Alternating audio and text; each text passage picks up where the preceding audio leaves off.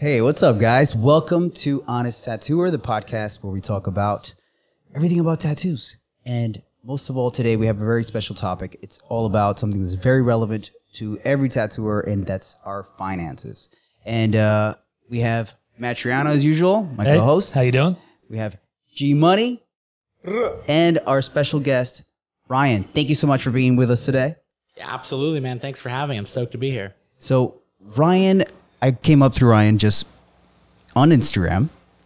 I saw his content. It was about about just financial education, and that's something that I try to you know kind of talk to all of my friends about. All of my friends who are tattooers or not tattooers, because I got into it years ago by looking at people like Dave Ramsey and looking at Graham Stephan. And a long time ago, a friend of mine gave me Rich Dad Poor Dad, and it just opened my mind up to a whole new world of just like how you can get responsible and be aware of where your money's going, how you can invest it, and things like that. And uh, when I saw your content, it really just resonated with me. And then um, I've read a lot of books about finance and things like that. And when I saw you kind of just be able to turn that kind of information into a way that a tattooer can relate to it and really feel more connected to how they work, I was like, I got to talk to this guy more in depth and learn more about, you know, what got you into this and, you know, why we're here. Yeah, man. I was stoked to see you reach out, and uh, yeah, I'm, I love talking about this stuff. I love, you know, tying tattooing and, and money and art and spirituality and that whole thing is that's my jam. Cool. Sick. So, um, one thing like that I struggled with when I first started um, tattooing was that I was getting paid cash every day, and I was in my early twenties, and I'd like to party.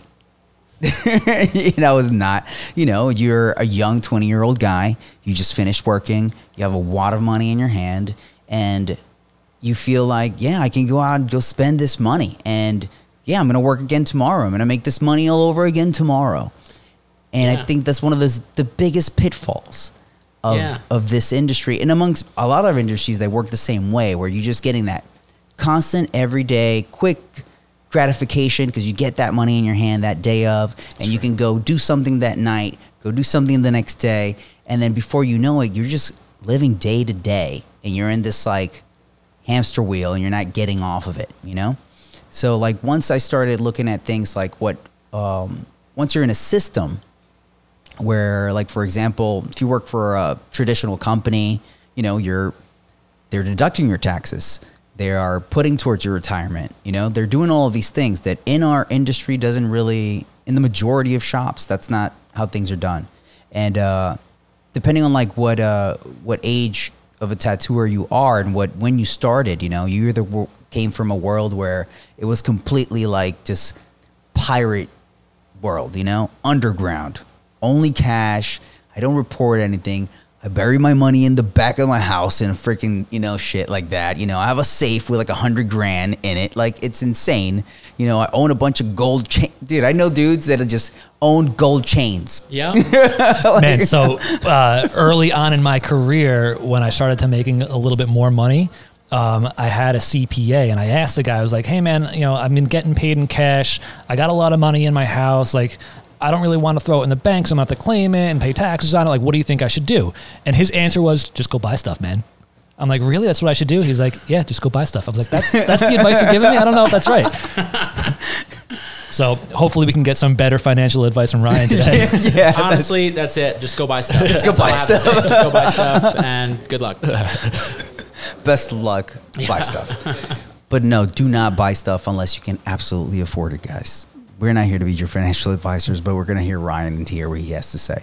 So, one thing that did help me a lot in the beginning was to have a system and, and, and follow a system, you know, and a system can give you a little bit of order and a little bit of, uh, you know, you can modify a system after a while when, you know, if it applies to you, a couple of different things. And I think that's something special about your course that it's like you have a kind of a system to help people to get them on their way. And I think like, like what you're saying, where like everybody has different situations, you know, it's different if you're just, you know, a tattooer year two than if you're a tattooer at, you know, year 20 and you haven't invested in, in, in yourself and your retirement and things like that. Your rules are going to be slightly different, you know? Yeah. So what would you, what would you say, you know, for a young tattooer that's kind of like they have the world in front of them. They can just, you know, they're new in the game. They can kind of go from there. Yeah. Um, for, well, first of all, I can 100% relate to that feeling of getting out. You know, I worked at on Christopher Street starting at 7 p.m. and worked till four in the morning, leaving with over a grand in cash. And you're, you know, it's like it's a crazy feeling at like in your early 20s to make so much money so quickly. And then, yeah, I mean, I remember one year realizing that I probably made close to, if not over, a hundred thousand dollars. And I was like, I don't have any money. Like, where did Where did it all money go? Yes, where did it all go? So I'd, I've had that feeling too. yeah, right. And and one thing I heard that I really liked and that I, I use, I didn't come up with this idea, but it's that uh, every system is perfectly designed to produce the results that it gets. So consider that each and every person listening to this has a system, whether you think you do or not. And whatever results you're getting with your money, whether you're living the pirate life or not, or whatever it is, your system is perfectly designed to produce those results. So let's say you're living the pirate life, okay?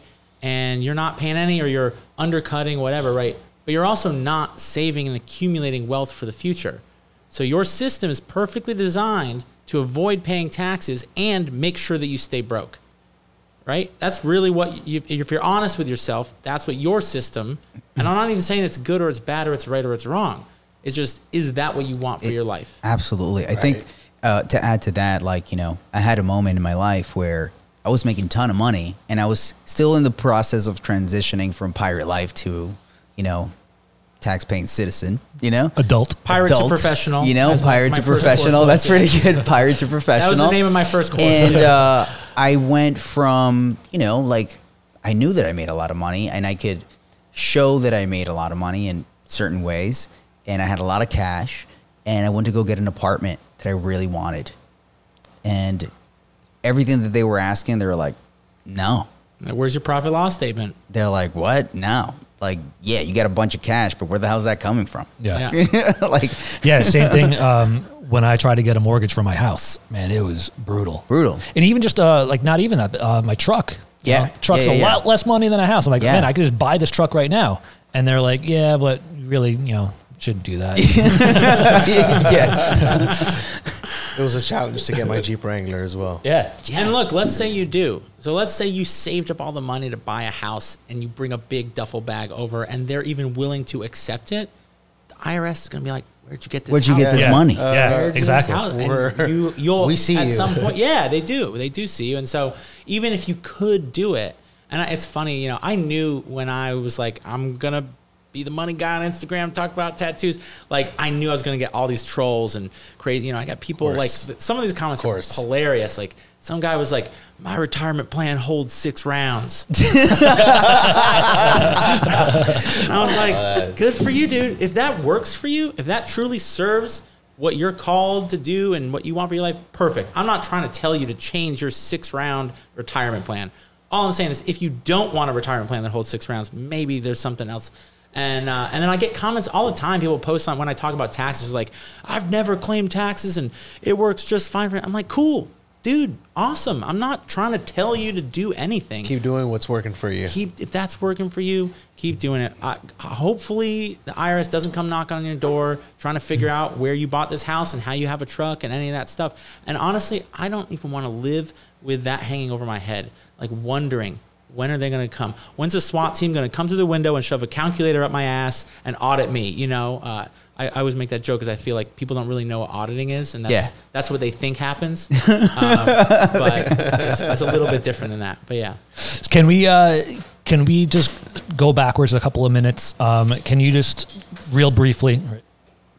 Can you just real briefly just talk about how you started Yeah. um, and why you're doing what you're doing? Yeah, so I never if you told me 5 years ago like hey Ryan you're to like stop tattooing pretty much for a living and just be the finance guy would told you you're out of your fucking mind. But I, you know, about 6 years ago started my own studio and realized that the tax stuff and the saving stuff and then what the hell I'm supposed to do with retirement like it was on my mind and all I wanted to do was tattoo and I just wanted to focus on that and draw and make awesome tats, right? That's what it's all about. That's But still how I feel now today. that's all I want to do. And then this tax shit and all this stuff was like weighing me down mentally. I was like, if I can just figure it out, then I can just mm. focus on doing sick tats, and that's it. And that'll be awesome. And then, you know, I, I had a small business coach that was helping me and guiding me because I, didn't- I was lost. And I'm like, okay, I figured that out, and, and it got easier. And like, I started saving more money, and I saw my investments grow, and I was like, this is dope. And like, I started talking to other artists. Actually, people would sit down in my tattoo chair, and I'd be like, so what kind of retirement? You got a Roth IRA, or what do you have? What what are you doing? They're like, I don't know what the fuck I'm doing. And I'm like, oh, okay. I thought I thought everyone knew what they were doing. I thought I was the only one that didn't know, and something clicked after a while. Something switched for me where I got passionate about it. Literally, I'd have clients emailing me like, "Yo, stoked about my next tattoo appointment. Can't wait to talk more about investing or saving." And you know, and I was like, "There's something happening here." It's Should be more- charging those guys double. I should. Be. They're getting double the it. knowledge. I thought about it in the beginning. Tips like- not included for what I spilled. and um, and so yeah, and then you know, pandemic hit. I had to close down my tattoo studio. I had a four month old daughter. I'm like, I need to figure out how to make money remotely because I can't tattooing. And that was where I was like, I'm just going to put all my time and energy into becoming a financial coach. I think the world needs it. I want to do it. I'm passionate about it. And I don't know if you ever heard the like that the ikigai. You ever heard that term? It's a Japanese word. It's like the cross section. Uh, it could very, very well be like a, an American thing that's not really a Japanese term that, because we do that all the time. But anyway, it's this concept that uh, it's a cross section between what you're good at, what you like to do, what the world needs, and what you can make money doing. And so if you can find something that can cross all those categories, and for me, financial coaching is all of those things. I love doing it. I'm good at it. The world needs it, and I can make money doing it, and it's it's great. It's awesome. That's such a great concept. Absolutely. cool. Awesome. I feel like, you know, I, I went through that stage where I was like trying to figure out how to do this because, you know, on my a little bit of my backstory after when I started my tattoo shop with with friends, you know, uh, none of us really wanted to do the part of the responsibility of a business. You just want to do the cool part. Yeah, we just want to tattoo together and not have any boss. You know, we want to just run shit. You know, we just want to be chill. And then you're like, oh well, somebody has to take the responsibility of doing all of this stuff. And that's when uh, the I was like, man, we have to create an LLC or an S corp. And at that point, I had an S corp instead of an Yeah. LLC. Yeah. And um, then I started like having to navigate the difference between doing individual taxes to doing the taxes for the business and learning about all these things really started opening my eyes about you know about looking at i was like man i should have been looking at myself as a business a long time ago Right. you know Yeah. you know and i was just looking at myself like as this as, as a different entity you know what i'm saying? I, did, I wasn't looking at myself so objectively of like all right man i'm a business and i have to look at myself as a business. Carrying myself as such saving as such like doing all of these things that over time just like in any exercise you will get better at doing them.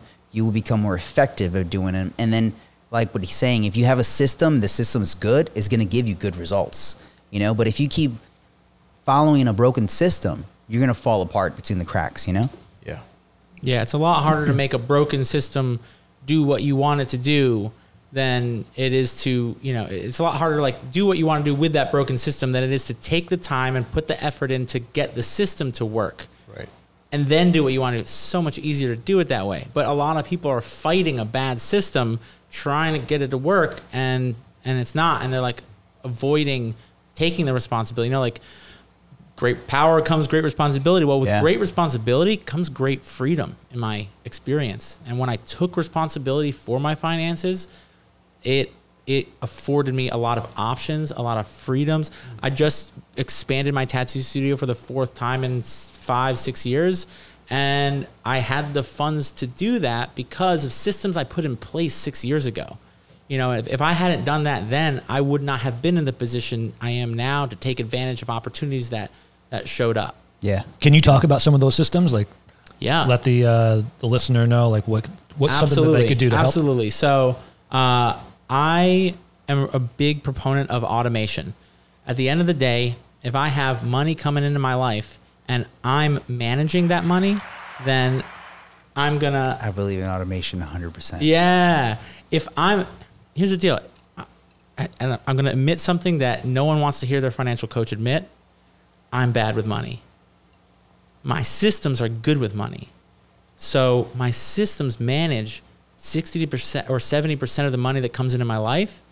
And then I manage 30%. I could light that 30% on fire and it won't matter because my retirement's on track. I'm on track to buy a house. I'm on track to do all these things. You know, it's, it's the system's doing it. So automation and it, automation is scary when your income is irregular because you can't to, to my knowledge there aren't really great ways for banks to uh, transfer percentages of deposits yet i'm hoping they do change this and when they do i'm going to have to change up my systems but honestly i don't even like the percentage model because if i know i need to save $560 a month between now and 30 years from now in order to retire, right?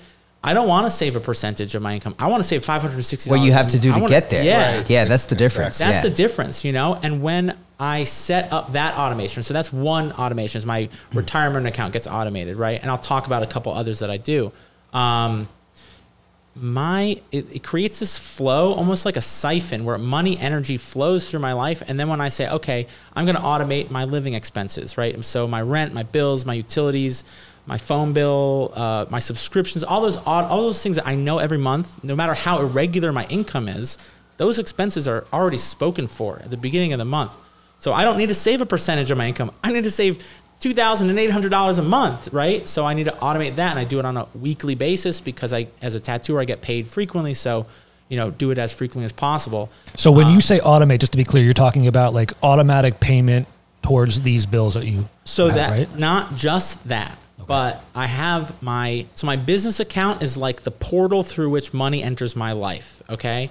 But money in my business account is not my money. It hasn't yet become my money. It has to go through my hmm. whole system, be filtered through it to then become my money. And that's the way I think about it. Like that's a mental concept that I like to use. So I want to um, put a pin on that also yeah. because I want to come back to that concept a little later. Sure, sure. So one, I just want to give you a high five because god damn, everything you're saying is so good. God damn it. Straight up, like everything that you're saying are things that I've learned over the course of many, many years of trials and failures and Yeah. just trying to figure it out. And here you are saying, like, hey man, look, I went through these trials and failures. I figured this thing out and I'm trying to help you get to fucking the holy land of Yeah. peace of mind that you get from like having these things happen like automatically and like you know i had to learn that from owning a business and it's like you know you start seeing Owning a money business is the best business school. Oh Don't go God. to business school. It'll Just freaking fucking teach you start a quick. business and fail like- over and over again until you like, make it oh, work. That's man. the best education. but just like having the money come into the business and be like yo that ain't my money at all that is no idols and no idols is its own thing It's its it own ain't thing. me Yeah. you know and then even the money that i make from tattooing still ain't mine It still isn't mine. You know, I still consider myself uh, like an employee of my business, you know? So that belongs to them. And then at the end of the day, like I've created, you know, automated systems where as soon as like money comes into one account, that money gets broken into multiple places. Yeah. It's going to go to this, it's going to go to that. And and then what's left, that's mine. You know, like that's that's my money. That's the one that I get to buy myself my dope fucking clothes from. Just so, you guys so most people they try to spend and live their pay their bills, buy food, go out, do their thing, and then they try to save what's left over. Yeah. You will always be chasing money if you do it that way. Absolutely. You need to save first, and this is also called like the profit first method. And by the way, you know, you might your business might be no idols, but every tattooer can do this. Yes. You, don't need to own a shop. Like your money coming in through your tattoos is not yet your money until it, goes through your system. If you think it's your money, well, again, that system's going to produce a certain set of results. So if you stop thinking about it as your money and start thinking about okay, where is this money already spoken for, right? A portion of my income is already going towards rent. So let me separate that from the get go. A portion of my income is already going to my retirement account. A portion of it already is going to my emergency fund. If I have debt that I'm paying off, I need to prioritize that. And then I spend what's left over. I don't save what's left over. I live off, I spend what's left over after all of the things that I prioritize. And actually, Russ Abbott helped me come up with a name for my money system, and I call it the waterfall money system because it prioritizes everything at the top of the waterfall, and every step down the waterfall that the money flows is less important. It has le- less priority, and down at the bottom is me buying stupid shit I don't need. Right. One- Shout out to Russ Abbott, by the way. Yeah. Fucking legend. Yeah. The guy has influenced. Yeah. Like, I get a whole thing just talking about how much Russ Abbott influenced me in tattooing early in my career and just in the tattooing sense, you know? But now he's like influencing people in so many other ways. Like, just, Dude, he's The guy's a such a, legend. businessman. yeah, he's a fucking legend. Um, Shout out to Russ Abbott. You're the Yeah. shit. Yeah. um, one of the posts that you put up, I don't know if it was recent or within the last couple of months, you talked about all these different bank accounts that you have. Yeah. Um, can you touch on that a little bit? Yeah, so that's a part of the system, right? There's so there's investment accounts and then there's bank accounts. Uh, I don't really think there's there's not much else to the system besides like some bookkeeping software, but it's really just if you looked at the pieces that make up the system, it's a bunch of bank accounts, it's a bunch of investment accounts, and it's bookkeeping software, and that's really it. I don't use apps. I don't use like any of these fancy apps like Mint and stuff out there. I'm Yeah. sure they serve a purpose, but I actually use none of them.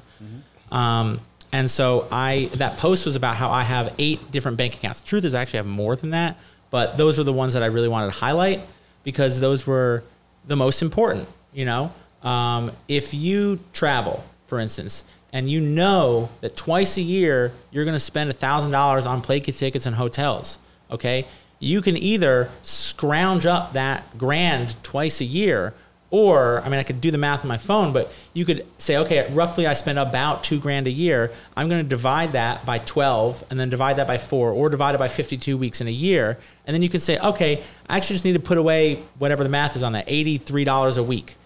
And then I know that my travel funds are already covered. And it's way easier to save $83 a week than it is to just come up with a grand all at once. And when you do this, and then you do it for your groceries and you do it for your rent, and um, what else did I have on there? Uh, even just like I, I have like a bigger fund of like buying stupid shit I don't need that's like a little more baller shit, you know? When I break it up, then my irregular income becomes a little bit more stable.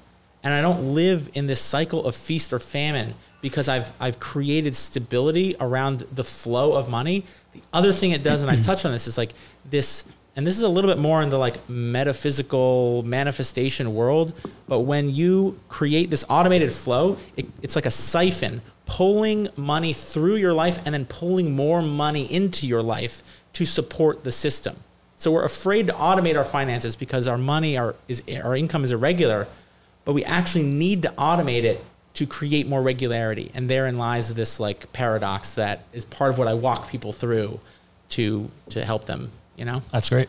yeah So all these accounts, do you have them inside one bank or do you Hell have it? no. It's all different banks. it's primarily I have two banks, but I actually like to operate. I teach people to use two banks. I like to have like three or four banks. I'll set up a bank account just like randomly. I'll hear about some new bank with a high yield savings. It's just I'll set it up and I'll just throw like a five dollar a week transfer into that account if there's no fee, and I'll just forget about that shit.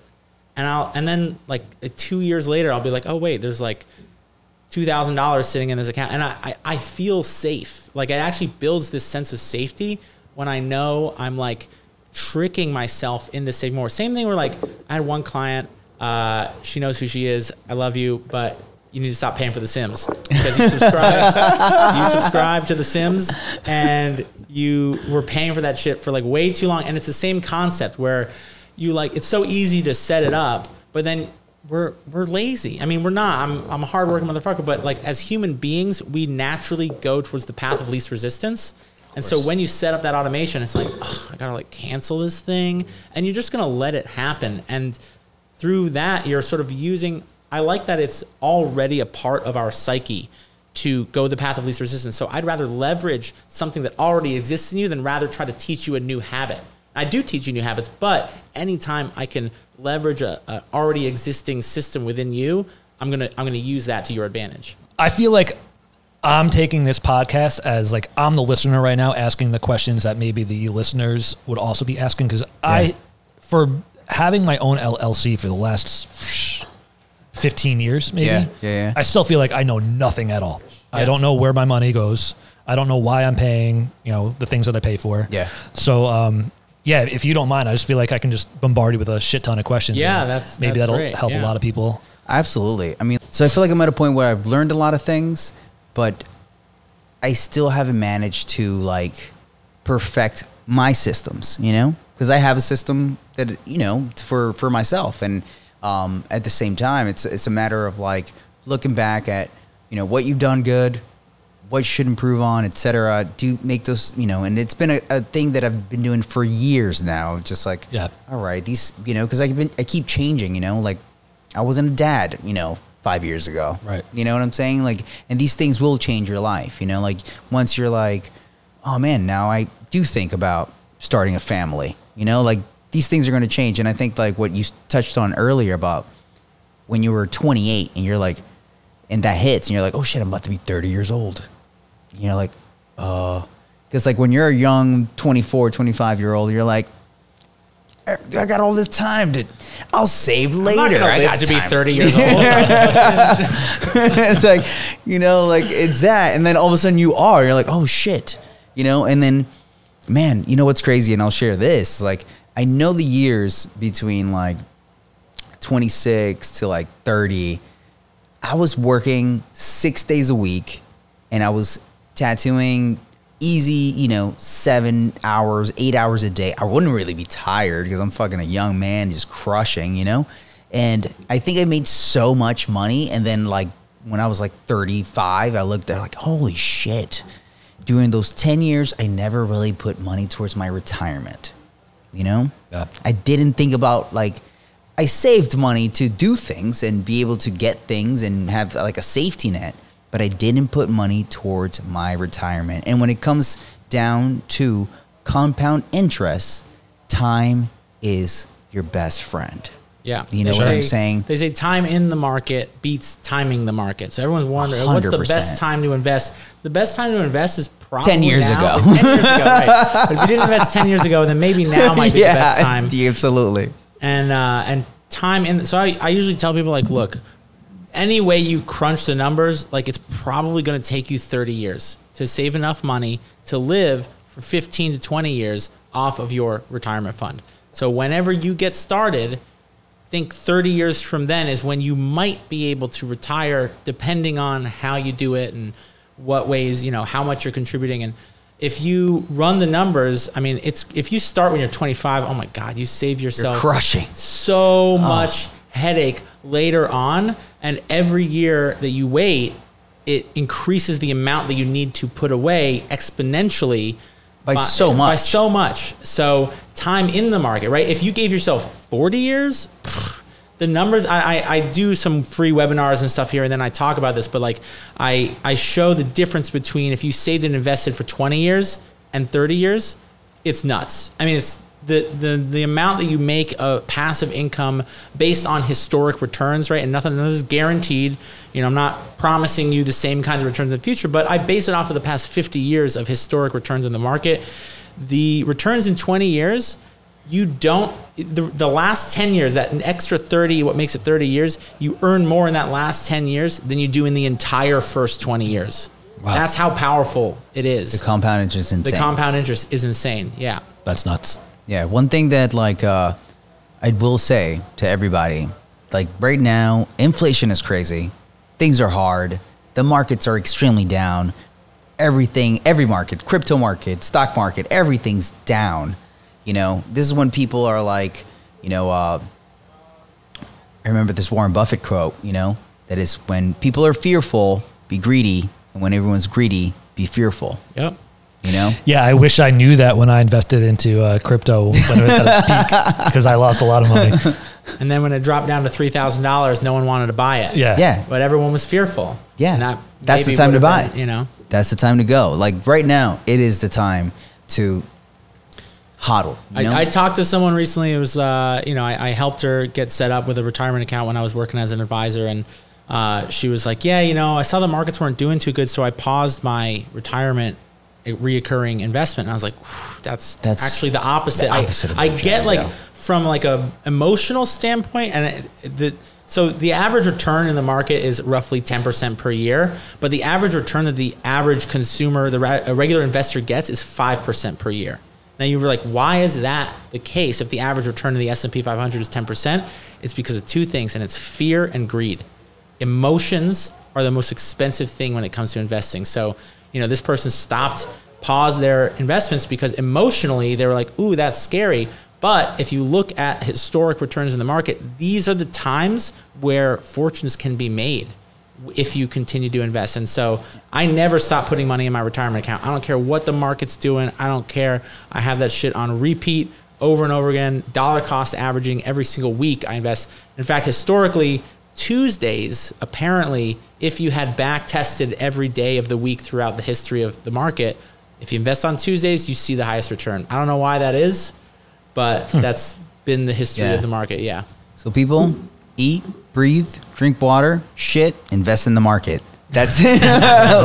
like straight up. Are you printing that shirt?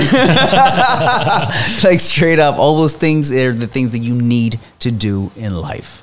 So no matter the, what the situation, stay focused. Stay focused on your goals.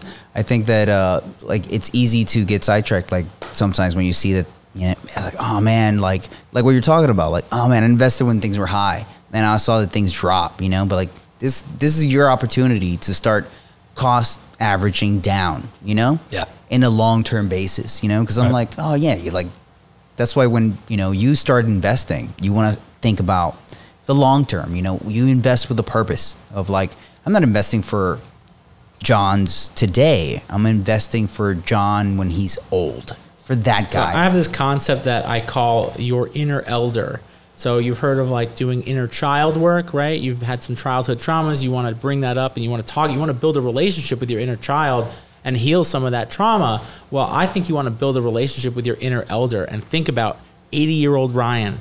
Man, he's been tattooing. His back is fucked. He wakes up in the morning. He's tired and achy. And like the last thing he wants to do is think about going down to the shop and fucking slinging scabs, you know? Like he's like green soap stinks and I, I just think about him like I really think about my future self as this person and, and think about what are his wants and his needs. What is what is his day like? Like he probably just wants to go for a walk down a chill path. Like that's probably all he wants to do his day. And the last thing he wants to do is like have to fucking go bake make the donuts, you know?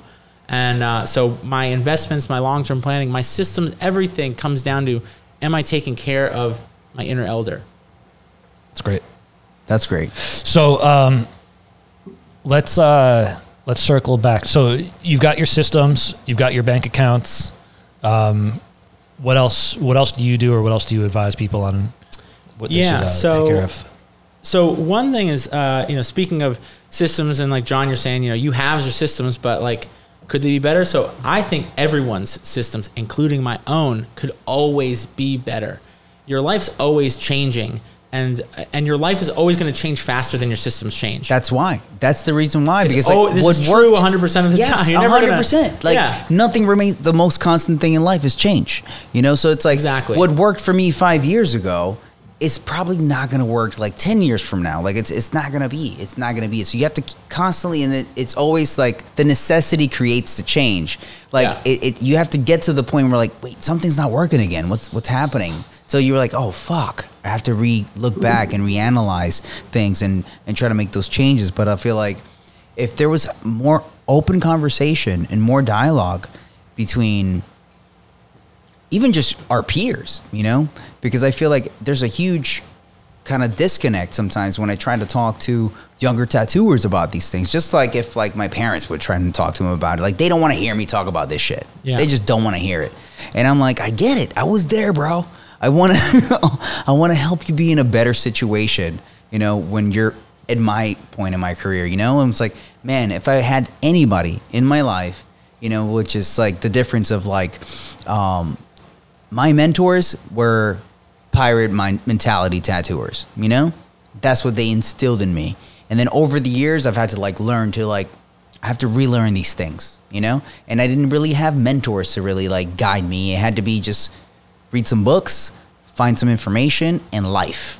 Those are the things that taught me.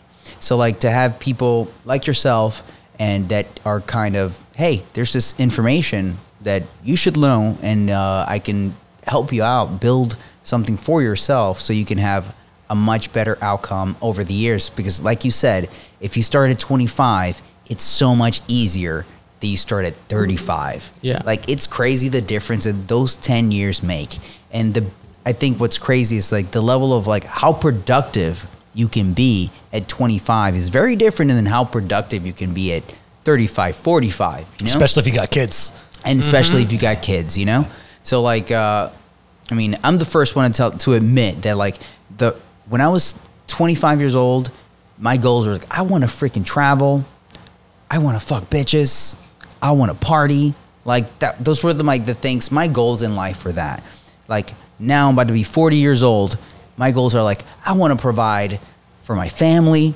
I want to like you know give my son the best school that he can go to. I want to give him all these things. I want to make sure that when me and and my girl are you know 65 years old, we don't have to scramble for money. I want to make sure that we're okay. You know, so th- like all these things have changed in my life. My values, my things have changed, and over time, the way that I manage my money had to change with it. You know, so it's like, like, speaking of like your goals and and saying like, well, okay, so the systems, but what else? yeah, goals. And I think this is a topic that's very misunderstood, very related to in a lot of disempowering ways because people are afraid to set goals because then if they don't achieve the goal, then they beat themselves up or whatever. So I think that the problem is actually we're not setting goals that truly inspire us. We're setting goals we think we can do. And then if we don't do them, we're bummed that we don't do them. yeah, But if you're inspired by your goal, right? If you really, and it, I look at it almost like a muscle, like you kind of have to stretch. We're not used to thinking like, wait, what do I really fucking want? We're used to thinking like, what do I think I could possibly do if the circumstances allowed it, you know? You're capable of so much more than you allow yourself, than you give yourself credit for. And the problem is you're thinking within like a small plant pot right? And when you put that plant in a bigger pot, when you think bigger and you set goals that truly fucking inspire you, and actually, they need to fucking scare you. If your goals do not slightly make your gut feel like you fucking going down on a roller coaster, those goals aren't big enough. Those goals aren't really gonna work for you and inspire you. And those big goals are like a big plant pot, and you can start to take new actions because you're seeing your life from a different perspective. And I don't know if anyone's seen the movie um, The Patriot with Mel Gibson. You know, he says to his son, he's teaching his son to shoot, and he says, uh, "I want you to. I don't want you to aim at the head. I want you to aim at the ear. Because if you aim at the head and you miss the head, right, you're, you're not going to hit your target at all. But if you aim at the ear and you miss the ear, you're still going to pretty much accomplish what you set out to do. So if you set a really big goal and you're like, okay, I'm gonna build a plan, and what, how many tattoos would I need to do every year, and what would I need to actually charge per tattoo in order to accomplish these financial goals? Set up a real plan for yourself. Aim small, miss small. That's the lesson in that movie. Yeah. So then if you don't end up doing exactly that many tattoos and you don't always charge that amount and you don't get but at least you're going to make so much more money. You're going to accomplish so much more in a shorter period of time because you set these goals that kind of fucking freaked you out and you're not afraid. You're not attached to the outcome. So one coach i used to work with uh, and i've hired a lot of i've spent probably close to $100000 in my lifetime on coaches coaching programs mentors i've invested in myself you invested in yourself. That's, you took the words right. as I was gonna say Hormozi says, Like, I don't, man. you know, I don't invest in the S and P 500. Invest in the SME 500. Yo, you gotta invest in yourself. I, I'm a huge believer in that. You know, Yeah. like, you know, I've had, you know, oh man, Dude, you were just talking about this on your post today. Like, why do I dress the way that I dress? Like, that's just investing in you. That's making you feel good. Like, it makes Yeah. you feel good. Like you know, there's a level of like you know the things that you do are gonna one make you feel good and also change the way that you see the world and the, the way that the world sees you. You know, so like if you're walking around with the stress of like, oh no, I'm not gonna, I don't know if I'm gonna pay my bills. th- That that shines through you yeah. that that stress that you have in your life, people see that. They feel it somehow. You don't And have to that, tell them. That brings me right to the third element. So my, my program is a three tier. There's always three pillars, right? Of every program, the three pillars of success, right? Uh, so we talked about systems, we talked about goals. That last part is mindset. And if you are living in fear and worry around money, all that's doing th- that fear and that worry is not putting you in a better position to improve your financial situation. In fact, every financial choice that you make from a place of fear and scarcity and worry is probably one of the worst financial decisions you could make. So, really taking some time to shine a light on your awareness of money. Look at the beliefs you have around money. Are they serving you? Are they costing you? And if you if you really look at every belief around money, I had a great session the other day where man, this guy I was working with in the group in the course, like he popped like a kernel of popcorn. Like his mind was just like he saw that his relationship with money was costing him so much more than it was paying off. Like there's this payoff, this instant gratification, right? He, uh, you know, grew up pretty poor. Uh, you know, uh, poverty didn't really know anyone in his family, his surroundings, like no good opportunities. And, you know, in his social circles, like sneakers, that was like the sign of success. Of success, you know? yeah. And so he grew up, and his belief system was like, I need to, I need to prove that I'm enough. And the way I prove that I'm enough is every new drop. I'm need that I need that. You know, he was like, "Do you have Nike money?" Like that was that was the the epitome of success. Was like if you have I Nike money new or you have bro. Payless money. Which one is it? You know. Yeah.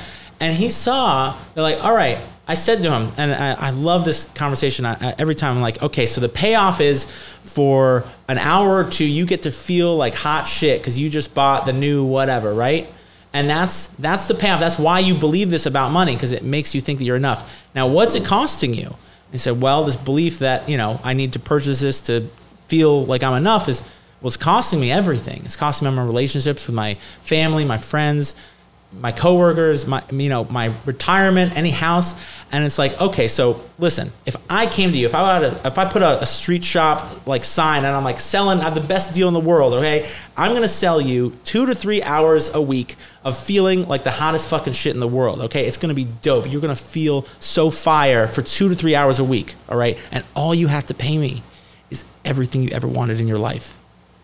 Deal? I put my hand out. Deal? You want to take that deal? He's like, no, I don't want to take that deal.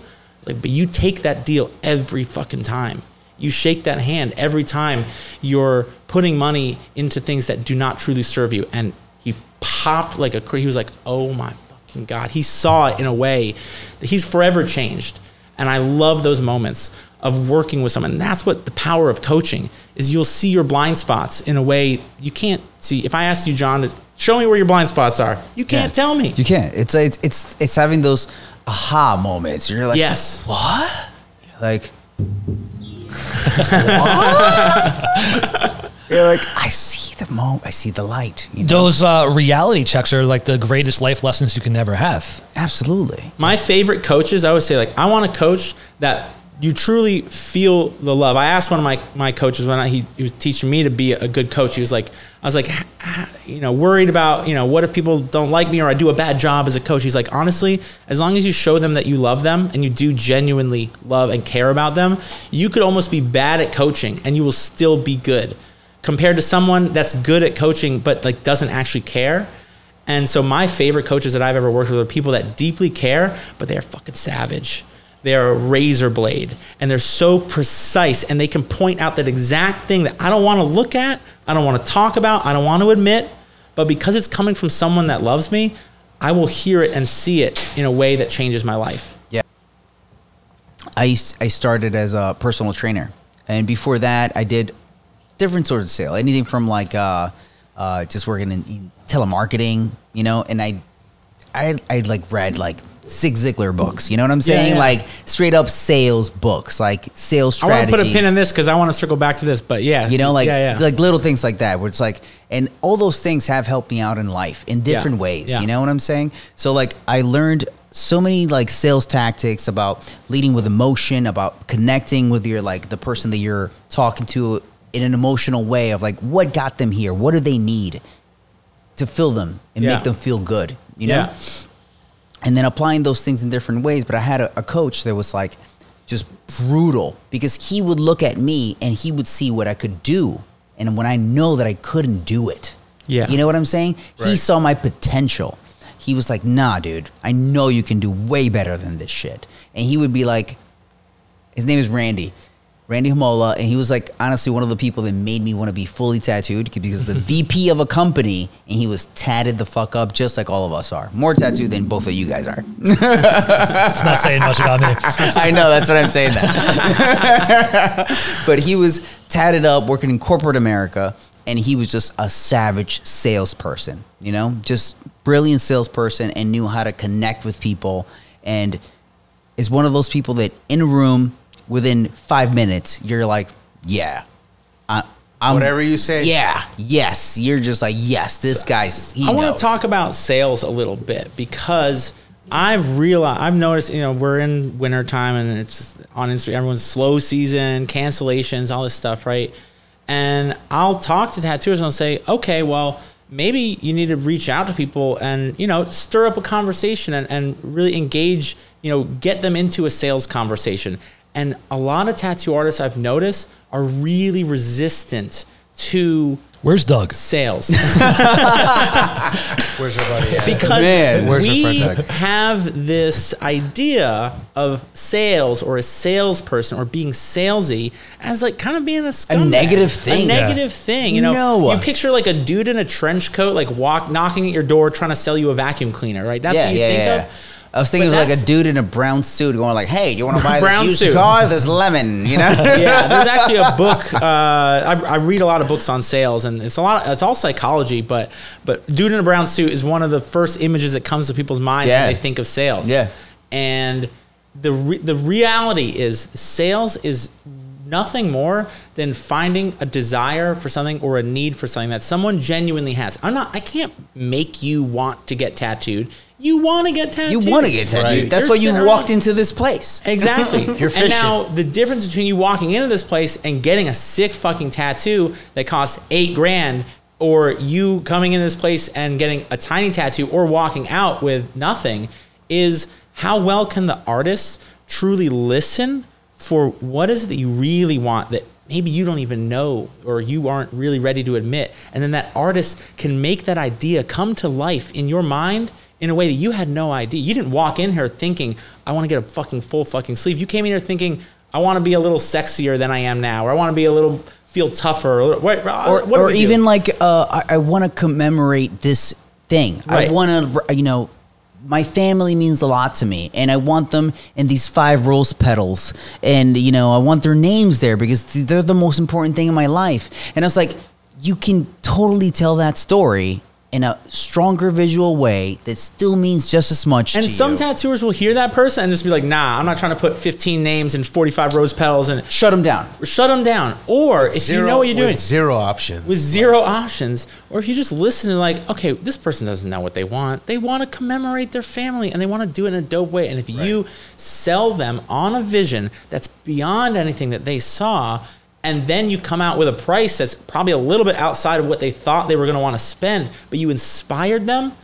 And then they walk out with a tattoo that's far better than whatever they were gonna get. it. Yeah, they even because expect they were gonna walk out of the shop and go down the block to some asshole that's gonna do the 50 rose petals with all the 18 names crammed in there Dude.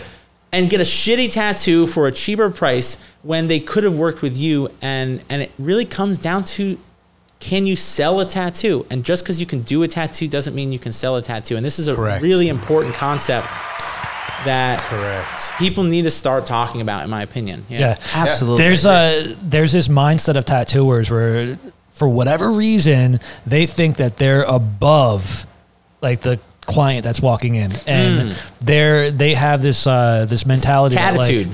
Yes Tattitude.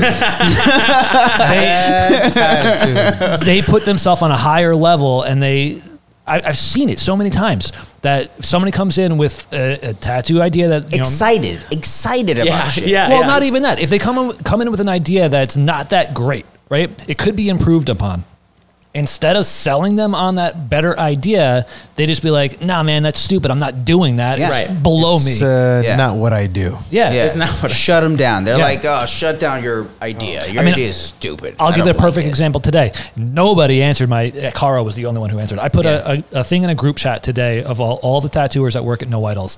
Someone email, DM, someone DM'd me today a photograph that they found on Google. It was a black and gray small tattoo with uh, it was like some. Uh, some black girl with a big fro, no face, but there was lettering all inside her body. Yeah. And this girl, she just goes, "Hey, how much would you charge for this?" Um, I could have been a dick and be like, I'm, I'm not doing that. You know, I don't do that. Goodbye, right? or just ignored it. yeah, or ignored it, which probably a lot of people would have done. People right? would just do it, like ignore it. um, uh, going back to automation, which you know has nothing to do with what you were talking about with the finances, but I have an But autom- does, yeah. I have an automated reply with someone who emails me or DMs me something that I do not do.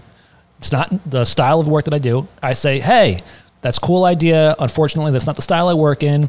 You can, uh, we could set you up with a consultation. We could talk about other ideas, something that will fit my portfolio style. You'll be happy with. We can do a win-win. Or I could set you up with somebody else who would work in this style, and you would be happy. The other person would be happy too. Yeah. And whether or not I get that sale or it's somebody else in the shop, that I feel like that's a win for me too. Absolutely. But there's a lot of people who are like, nah, I don't do it. I don't want to deal with See it. you later. Yeah. Yeah. I don't want to work with this person or most of all, educate them. Because most of the time that's all they need. You know, like somebody comes to you with like a terrible idea with a lot of meaning to them, you know, but they they don't know how to convey it. They don't have the visual, you know, connection that we have. Maybe they're like they're a freaking uh what do you call this? A freaking uh uh, an accountant, you know, and they have no visual art brain at all, you know? And if you're able to show them with words, even, you know, you don't even have to draw something for them most of the time. It's just like tell them what you could do for them and the opportunity they could have to have something that's amazing that they will still connect with, that it's better than what they could have seen. Man, you'll have a client that's going to come back to you over and over and over. And I think I've said this numerous times. I've worked in shops where there were guys that were terrible at tattooing, but fucking amazing at selling tattoos. Yeah. And Right. and amazing at building relationships with their clients. So guess what? Their clients maybe they didn't get a great tattoo, but they got a great friend out of the whole experience. And they'll love the tattoo because Oh, they love they'll the love it. experience. Yeah. And they'll send all their friends there.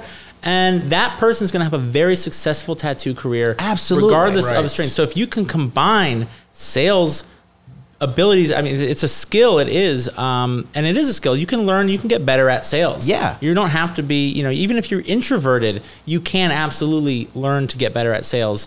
Uh, and you're an amazing tattooer. Well, then you've just hit the jackpot. Yes. I have friends who are some of the most talented artists that I'll, I will never touch a fucking toenail to some of these friends of mine. They're so good and they struggle with sales. They struggle with marketing. They struggle with you know putting themselves out and it is it is a skill, but you know you have to want to develop that skill as well. It doesn't necessarily come naturally.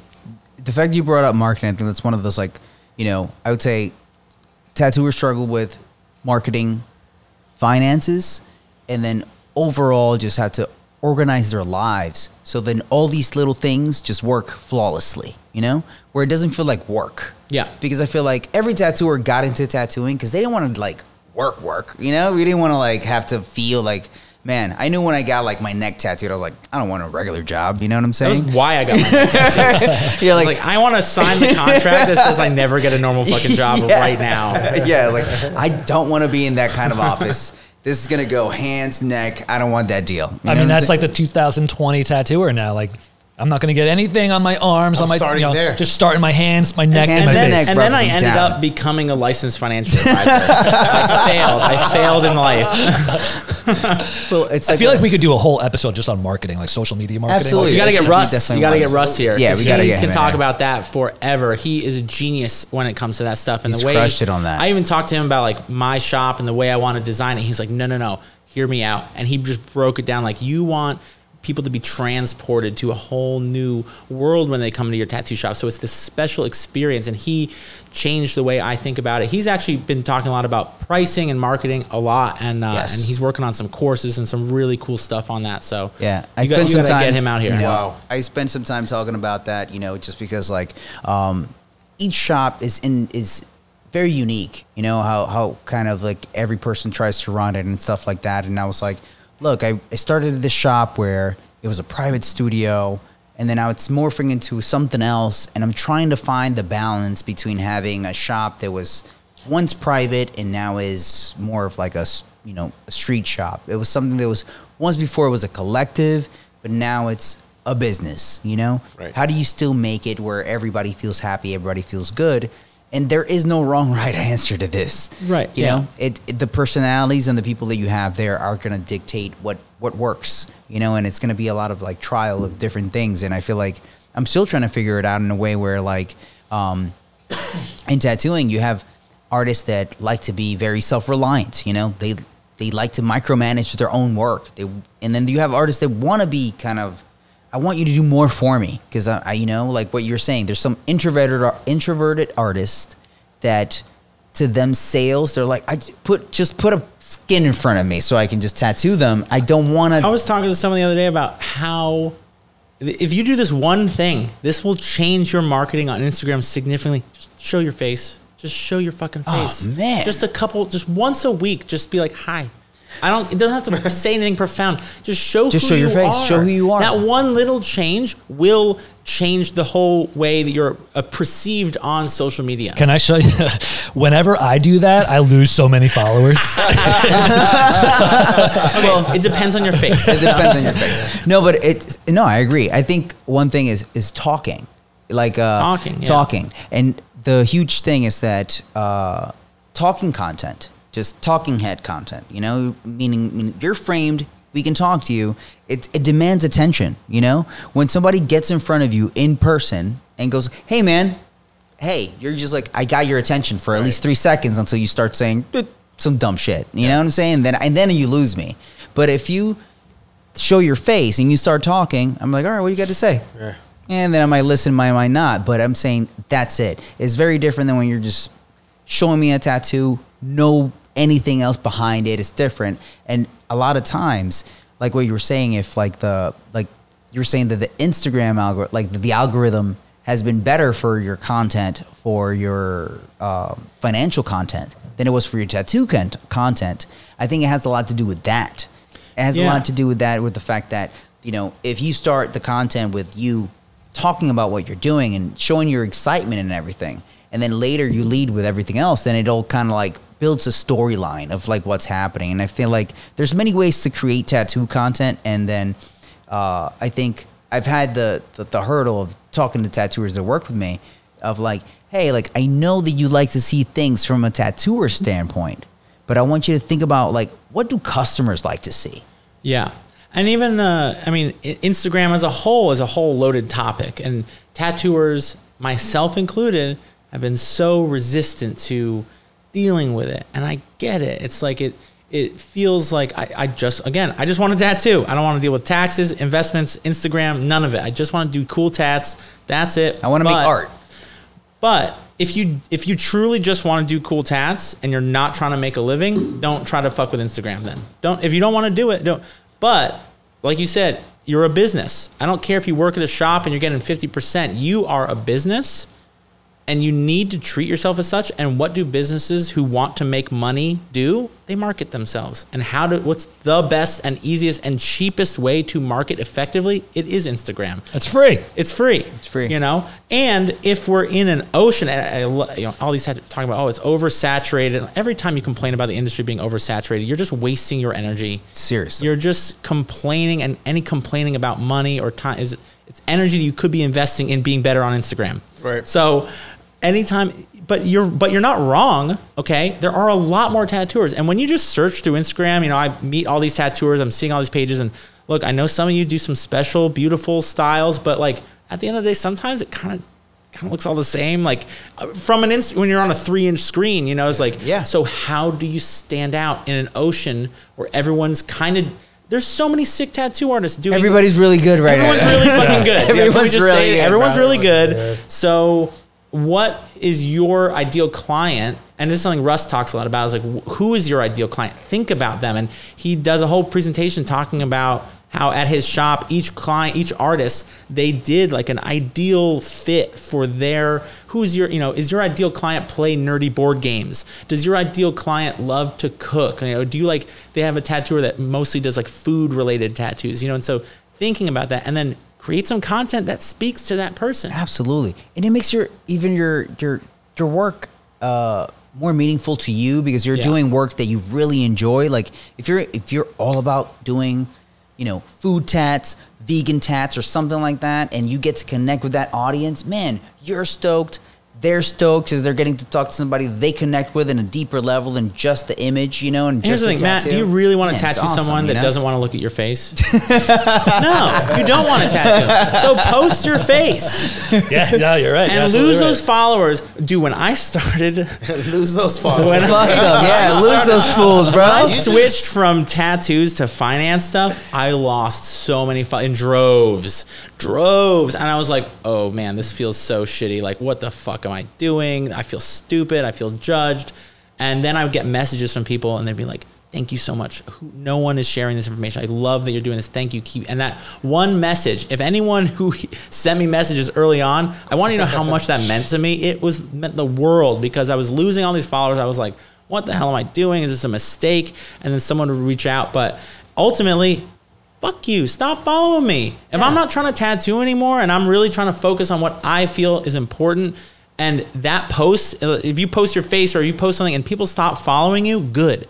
They were never going to work with you anyway. So let them fucking stop following you. Yeah, you. you're absolutely right. Yeah. And it just weeds out the uh, the important people. Really. Exactly. Yes, man. And if only 3% of your whole audience is ever seeing your fucking posts, then actually you want people to stop following you. Because then the people that are going to see do your matter posts are are the people that really points. fucking matter. Right. Yes, Right. yes, absolutely. Like you know, Nas has a line in, in a rap song where he talks about if you don't understand what I'm talking about, I'm not for you and you're not for me. And I feel like you have to make your content be, you know, like you're saying, to the audience that you're trying to reach. And the more you can connect with those people, you're gonna lose the freaking wishy-washy people that are not about what you're trying to do. You know? So make content for for that audience that really wants to see your shit. They really are about you. They support you. Because at the end of the day, if you're just doing this for like like what we're talking about, like just for a bunch of people that are just even just following you because they're following you, but they're not necessarily passionate about what you're about, you know, then honestly, that just lowers your engagement in the algorithm, guys. And then that makes your your stuff dump, you know? And doesn't get shown to more people because that's how like the algorithm works. It, it it grabs a block of people, shows it to them, and if you have a big group in that little first block that says, "We love this shit." And I was like, "Let's make this block bigger." And it just keeps increasing. And as long as like the majority keeps liking, it keeps growing. And the more people that like it, the more people get to see your stuff, and the more you're going to connect with people that are going to really, really be into your work, your personality, what you're about. And that's fine. You know what I'm saying? You can't be afraid to lose some. You win some, you lose some, right? Yeah, So, you're not you're not for everyone, and that's a good thing. Yeah, Yeah. that's a Yeah. good thing. All right, cool. Yeah, I feel like we could uh, ramble about this for a long time, but I think that we should save all that stuff for another episode. Yeah. Um, Like you said, I'll gladly come back anytime you guys. yeah, want. we should definitely do that. Um, so I, I said before that I want to, to I put a pin on something that I want to come back to. Yeah. So you were talking about how your money as the tattoo business is not your money, right? Yeah. So, um, one thing that I was told was that um, from other people is like you should pay yourself a salary. You should pay yourself. You give yourself a paycheck. If you have a business, pay yourself a paycheck from the business, I'll be back, guys. and then that that'll be like your your play money. Um, my accountant was like, "Don't worry about that. You are the business. Everything is one." Um, you know, Matt Truiano is Apparition Studios. That's my LLC, right? So whatever money comes in from Apparition Studios, you can pay your um, you could pay your business expenses there.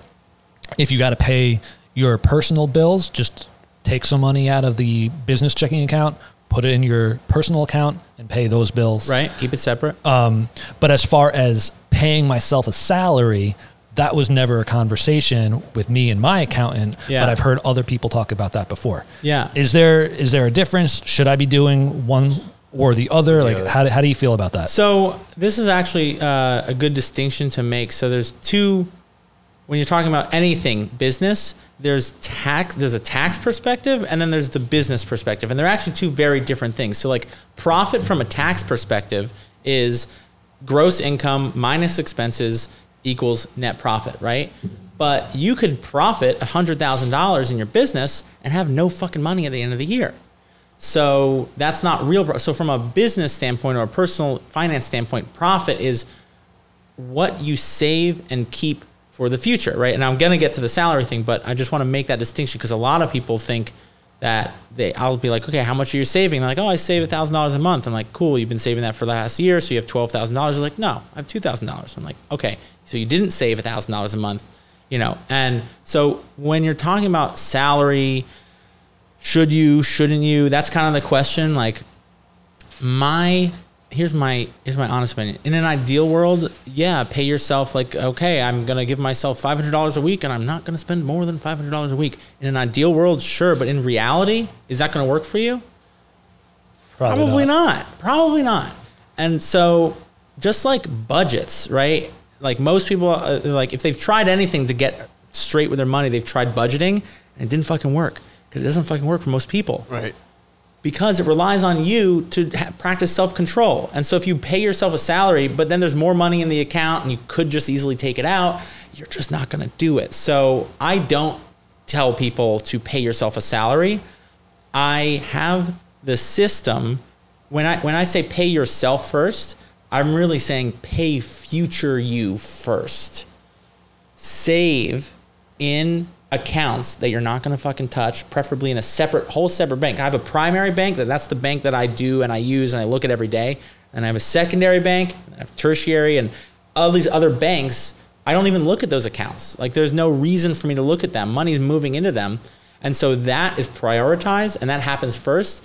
Then here's what I do. So I prioritize retirement, saving for a home, having an emergency savings, all those stuff at the top of the waterfall right? And then down at the bottom of the waterfall is my personal spending. So how do I know how much I can spend on my life? Well, I have my business account, and now I kind of just pick a number that feels like that's a healthy number to float whatever my business needs, and I try to be a month ahead. So if my business generally costs three thousand dollars a month to operate, I always want to have at least three thousand dollars in the account. So if my account has three thousand dollars in it, I can't take any money out. I can't pay myself anything. And that's kind of how I run it is like I feel comfortable. My business account has what it needs. My system is saving for the future. And then if my account has $5,000 in it, I could take out that 2000 and put it in my account. And so in this way, when I look at my personal account, it only ever has an amount of money that I could light on fire in it. I like that. That's the way I like to look at it. And then mentally, because that buy shit you don't need money is not mixed in with my rent or my bills or my savings or any of that other money. It's not mixed in the same pile. When I look at that number, I naturally spend differently than if it was a big pile of ten thousand dollars. But not, some of that money is not actually money I can spend, and some of it's already spoken for this. So on a psychological level, it naturally, or again, I like to leverage things that already exist with you rather than be like, pay yourself a salary and don't spend more than that salary. I don't think that's going to work for you. So I don't even try to teach that. I have a system set up that takes care of all this stuff first. And then I look at my business account. I know my business needs to have this amount of money. And if it doesn't, well, like shit's gonna go bad. So like I'm I'm afraid to take out. You know, and I keep upping that amount of money as my business grows. Uh, I have a staff now that helps me with this course. I have a COO. I have salespeople. I have a full time assistant my business account needs to have at least $20,000 in it. Otherwise, like I won't be able to pay people at the end of the month. So until my account has more than 20 grand in it, like that 20K is not my money. It's my business's money. And then I can, you know, transfer any excess into my personal account and then I don't overspend. And that seems to work. For this avid overspender, I'm really good at spending fucking money on stupid shit I don't know. I'm super talented at it. That really works for me. It's easy to get good at. Well, I mean, I'm naturally gifted. I'm just gonna say you, you know. So when you have employees the way that you do, Yeah. you have a business, you have however many employees that you have that the money in that business account is also dedicated to pay those employees. Right. So- and the rent for my studio and Right. know, all these other So if you're the only person that's a sole proprietor, right? Right. If you're the only person in the business, are you considering yourself as an employee of that business? No, Okay. I'm not. In in that instance, I'm not. I am uh, looking at if you're just tattooing at a shop, okay, and you just need to have enough to cover your supplies, then um, you consider that your business amount. Okay, if you only need a thousand bucks a month extra to cover your expenses, then that's your number, and then separate everything else into where it needs to go, and then that last, uh, you know, whatever's over a thousand, you can take out into your account, and that way you you you might overspend on occasion, but over the long run, you're heavily reducing your overspending because that money isn't mixed in with all this other stuff. Great. Cool. Are there any cons to having an excess amount of bank accounts? Are there any cons to having? I mean, I have legitimately forgot about. I think there's a bank account somewhere. I don't even remember the website, and I think I have 123 dollars in it. And like, uh, I don't even know how to locate a bank account that you don't have the exact information. It was like this bank opened up and they had a really banks will do this thing where they have a promotional interest rate. So if you're ever looking for a high yield savings account, I like I use Capital One. I'm not promoted by them. I don't, you know, but they generally have a consistently high yield on their savings accounts. Other banks will bump up that high yield to be higher than Capital One's to lure you in, and then they'll lower it again a month later. So you kind of got to be aware of this when you're looking around for high yield savings. You want consistency. I don't want so I I got lured into one of these banks. It had like a super high interest rate. I put some money in it just to try it out, and then their app sucked. Like it was so difficult to manage. Which can be beneficial if you really want to save some money. Get a bank whose app That doesn't totally let you get your money out. because I am not going to touch that hundred and twenty three dollars. Like it's if I really fucking needed it, you better bet your ass I'll fucking figure Right. it out. I'll get that hundred and twenty three dollars, but I'm not. It's gonna be really hard for me to get it. Yeah. But if I needed to, I'd fucking find a way. You know. But as far as like, um, I guess like uh, fees or int- like anything that I use fee feeless banks. Yeah. You know, uh, my primary bank is Chase, and to avoid fees, I have a minimum in each account of two thousand dollars. So this is actually dope because if I have like one, two, if I like five different accounts, including personal and business accounts with Chase, right? That's ten thousand dollars. That that's the minimum. So I view that as zero. Right, so two thousand zero. So if my business needs three thousand. I actually need five thousand dollars to operate the business. But if some shit went down and I needed 10 grand and I was out of fucking money, that's five accounts that have They'd have the 2000 and it, they would charge me $12 a month to touch the money. And Yeah. like, if I fucking needed it, it's there. So I kind of like having these high minimums. Um, I don't see a downside to having too many accounts, but really, ideally, you have as many accounts as you need and and not too many accounts. I, I do have too many accounts to be honest, and, and but I'm making it work. Uh, my system's a little bit weirder than other people's, and I've been doing this a long time. So, you know, it's like follow the rules until you can break them. I, I've been following the rules for a while, and I can break some of these rules. You know, I'll take on more debt in in ways that I don't preach, but I'll do it in really smart ways, and I only take on business debt. So I only borrow money to make money. I never borrow money to spend on stupid shit. I only borrow to make money, and I will, I will, I will. Be, if I can bet on myself, and I can borrow money to bet on myself to increase my income, and I've done this a couple of times, I will do it because I'd rather bet on myself than bet on the market or something like that with borrowed money, right? When we're Yeah. talking, Yeah. debt is a power tool. You can accomplish so much more in a short period of time if you know what you're doing, like a power tool, right? But if you don't know what you're doing, you're going to get fucking hurt. Yeah. So I don't, you know, I teach people how to use debt in a, in a wise way. And I, I think to build wealth in our day and age, you actually do need You do need use debt, yeah. You need debt. You need to understand debt and how debt works. You need to understand interest rates and timelines and projected incomes and all this kind of stuff. I had a client. It was weird. Towards before I became a financial coach, I sort of attracted all these clients that were in finance, and I don't know if that was the universe just like delivering pushing me you into the. but I, I had um, a couple clients that worked either at hedge funds or in like the really big, you know, finance world. And that was where I learned that lesson. And, and uh, a client told me, he's like, yeah, I have an investment account that I never sold any of the investments. I borrowed money against the investment account at a very low interest rate because the asset, you know, used to, as the collateral was the investment account. Borrowed money, bought an apartment, rented out the apartment, and then the rent paid for the apartment itself. He never spent a dime of his own money. And I was like, "Whoa, That's- that's that's heavy. power. That's power, That's man. fucking power. You Sick. can buy a fucking apartment, rent it out, and never drop a dime, and never sell any of your investments." I was like, "I want to do that." Yeah. yeah, yeah. that's sick. You borrowed against yourself and you won. Yeah, Sick. Cool. Um, man, this was uh, loads of information. I know, I know. You know, usually like uh, we talk about a lot of we talk shit. We talk a lot of nonsense. yeah, I feel like we could Yeah. broken down. we just talked valuable shit this Yeah. time. Yeah. Today we talked yeah. about a lot of valuable shit, you know, and like these are things that are, you know, coming from my standpoint, I feel like it's a hard conversation to have, you know, Like talking about certain, some of these things, you know, if you know that you haven't been doing good, it doesn't feel good. Mm. You know, it's a tough conversation to have, and uh, it- it's something that some of you guys that are listening, if you hear some of these things and they make you want to turn it off because it, it, it makes you reflect too hard on what the fuck you've been doing and the li- it's like that's not the way it's be aware you know be aware take responsibility of your life it's your I've future had people tell me that like they the started necessary following me. changes. Make Yeah. the changes. Yeah, Yeah, take one like small start- action. yeah. You don't have to change your whole fucking life. Yeah. Take one small action. That's how I did it. That's how anyone does it. Uh, I had someone tell me, uh, he's like, I started following you because I needed the help.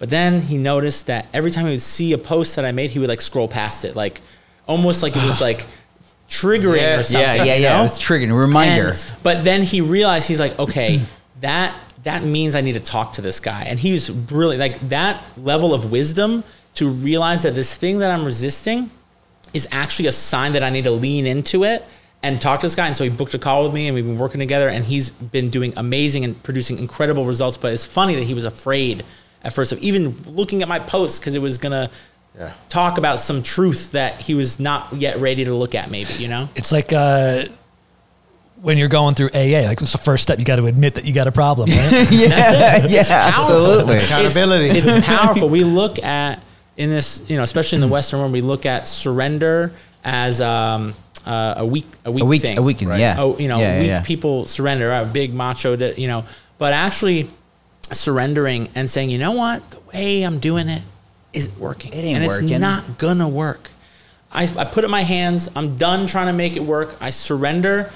Someone help me, teach me. And it's that moment that you're open, you're, you're an open sponge to receive wisdom and knowledge and do something new. And that's actually the most powerful thing you can do is surrender and be willing to do whatever it takes and start at square one and take a small action.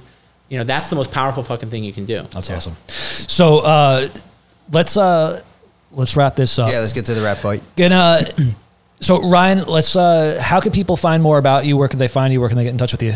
So uh, I'm mostly active on Instagram. I'm trying to get on some other platforms, but you know, Instagram's you know where it's at. So it's Ryan Roi R O I. Uh, that's like return on investment. return of investment i was like that has to be just return of investment that ain't the last name that is legit. My last has been my last name. My It whole is your life. last My name? whole life. Holy shit! I was like, I was like, it has to be return on investment, not his mean, last that's- name. that's So a that's that's like a. pff, You've been built for this. Come on.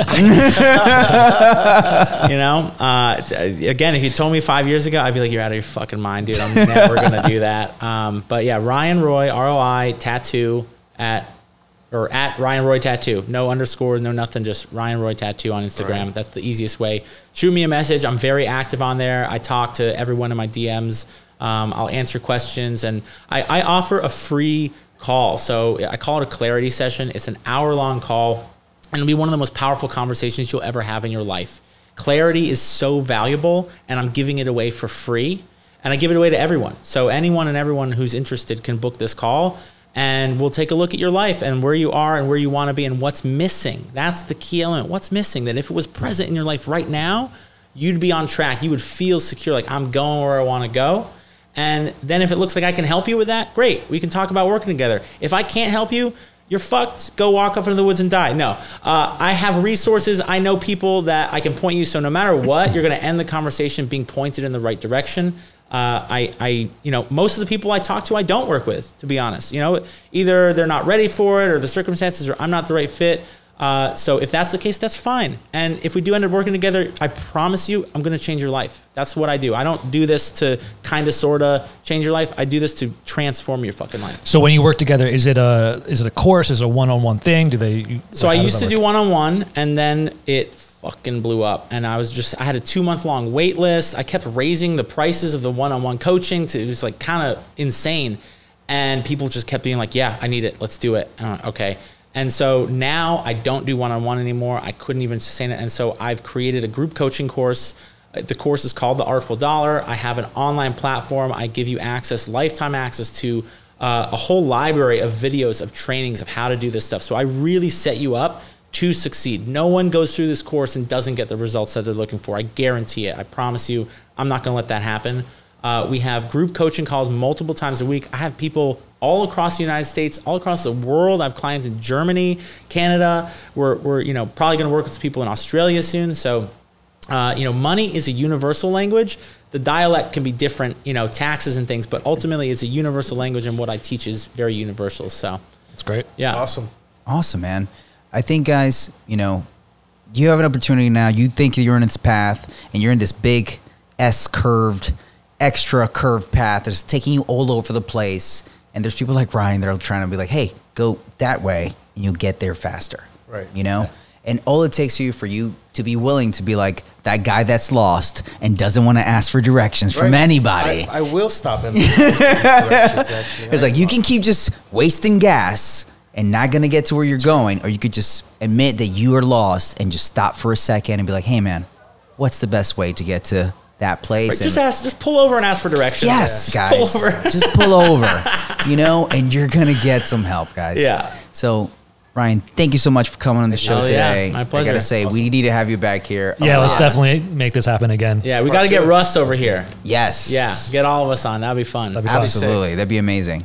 Anyways, thank you guys all so much for coming to, you know, Honest Tattooer. I'm like overwhelmed with information today. Yeah. I'm like, wow, it's, it's, it's like drinking from the fire hose. So I've had I've, I've been on other podcasts and people said, "Oh, I listened to it multiple times." And yeah, go ahead, listen. You know, there's a lot here. The value of this one conversation is millions of dollars over the course of your lifetime. You could take the information we talked about, and it could earn you and grow millions of dollars. So use it. It's here. It's free. Yeah. Absolutely. I feel like between all of us, we have over 50 years of experience Yeah. in, in, in this tattoo life and tattoo world. And, you know, we all have different backgrounds, but, you know, all of us here, we, you know, we're all parents now, you know, and mm-hmm. we all have families and, and, and are trying to provide them with a better life, ourselves with a better experience at, at, at being parents and just having a tattoo life, you know?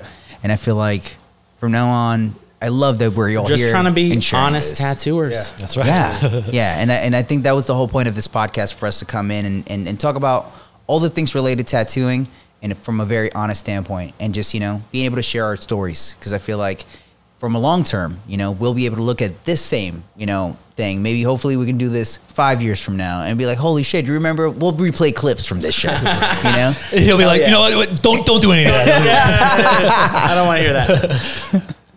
Anyways, cool, man. Awesome. Thanks, guys. Thanks for having me. This was so much fun. Yeah. Oh, right. uh, before anything, uh, how can people find us? So uh, we've got an Instagram page, Honest Tattooer, and uh, we're going to be loading uh, short clips on there, and then we're going to have YouTube channel with all of the full content of uh, the entire episode on Honest Tattooer at YouTube, um, and then also help support the show at uh, Patreon.com slash Honest Honest Tattooer. Where uh, you can donate a couple of bucks, get some after hours content, and then uh, we're going to start answering some questions on the show for anybody on the Patreon page. If you got a certain question that you want us to answer, we'll be happy to you know help you out and give you any information that we can offer. Awesome, Ryan. Thank you so much. Dope. G Money always, and my brother. There you go. Thank you so much. Thank you. All right, you guys have a great night.